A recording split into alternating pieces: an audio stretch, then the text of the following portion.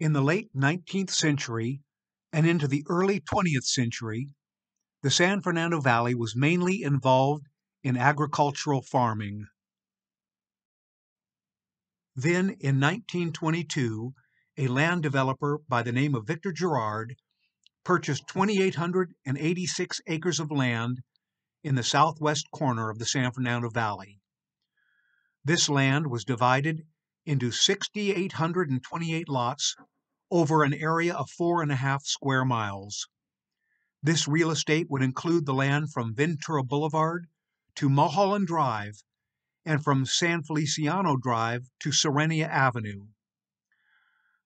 This 1924 photo shows Girard on the left surveying the scene of his town and the vast land development named after him, the town of Girard.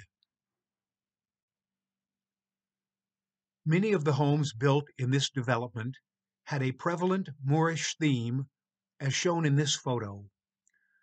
Girard wanted a new style of homes instead of the mission style of home so prevalent in the 1920s.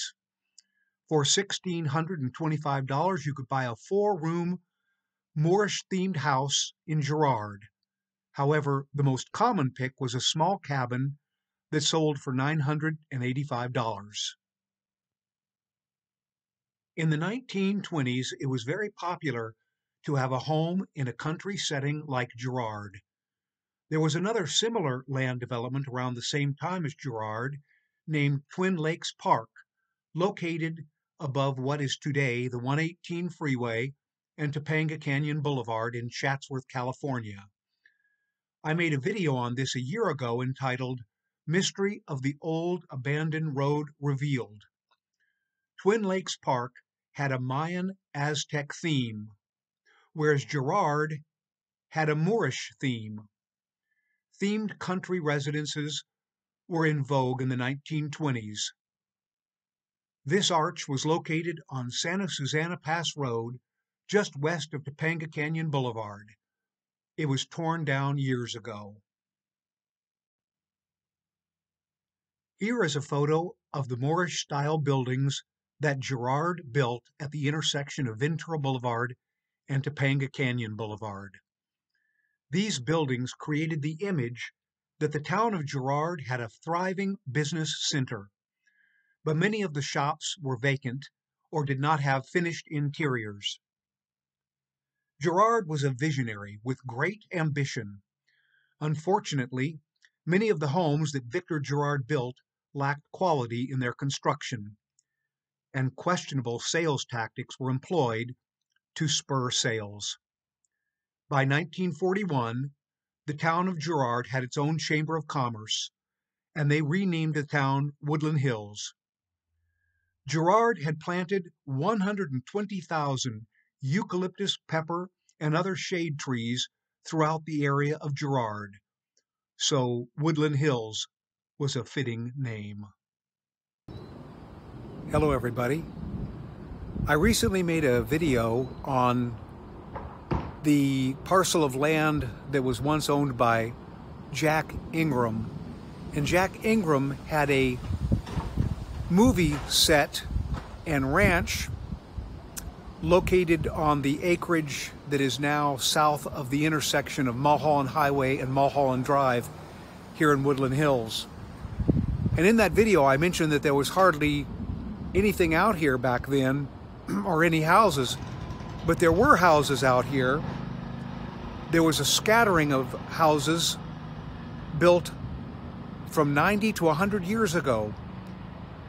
And I'm on the street Independencia, and I'm here at 22034 Independencia, and this is one of the original houses built by Victor Girard. This house was built in 1927. Now this is a single story home. And if I go over to the side of the house, you can see the roof line. Not sure how well it'll come in, but right up here, you can see that it was a flat roof. And this frontage area right here was an almost for sure an add-on. Uh, that's either a cathedral ceiling or an attic area. And then to the left of that, you have this this um, bell tower, kind of mission style bell tower that was added. And they have a gable roof on top of that addition in the front. This house is very well maintained and it's one of the original Girard homes built in this area.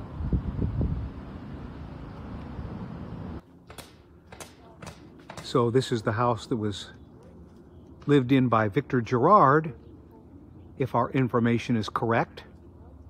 This is 22106 Buenaventura, and the house has been maintained very nicely, but that was built in 1929 originally. I'm guessing it was only a single story back then, and because in 1953 they did some kind of major renovations or improvements to the house, so they might have at that time put on the second story. I don't know.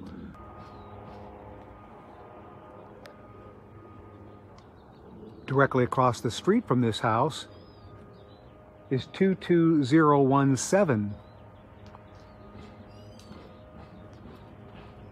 Buenaventura. And this house is even older. This was built originally in 1923, 100 years ago.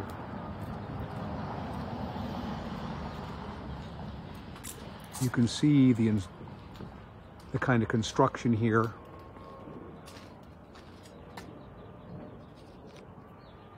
This kind of uh, post there. And it's a very uh, shallow roof. It's not completely flat,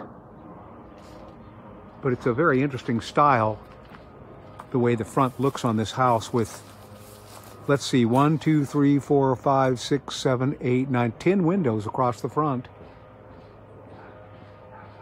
And this is a brick frontage.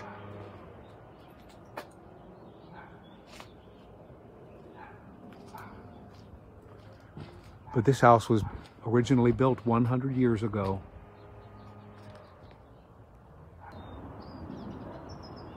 Here at 22030 Celis Street is one of the original Girard homes.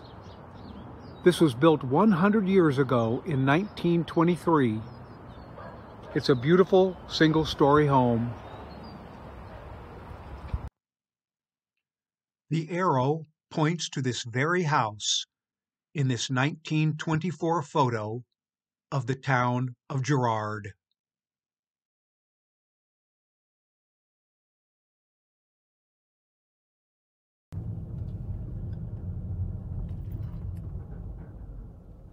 Right now I'm traveling westbound on Dumetz Road and I'm turning left into the Woodland Hills Country Club.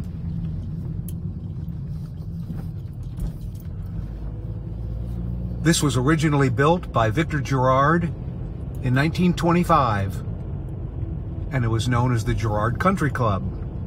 Then in 1941, when the Chamber of Commerce of Girard decided to change the name of the city to Woodland Hills, it became the Woodland Hills Country Club. This is non-member parking here, or event parking.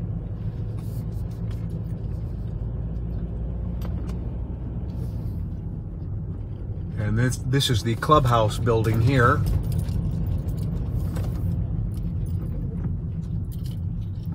And this is the main entrance. And this parking up here is reserved for club members.